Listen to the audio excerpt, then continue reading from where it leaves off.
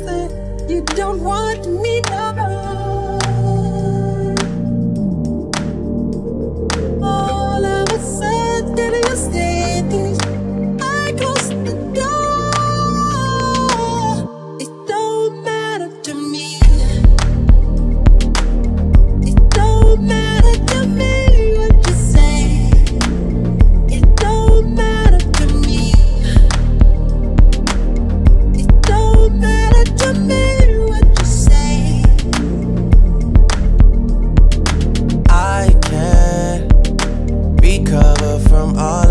conversation.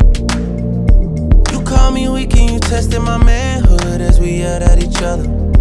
You wanted me to go and put my hands on you just to show you I love you. You know I can't jeopardize both our reputations. Despite what you said, despite what you choose to do with yourself this summer.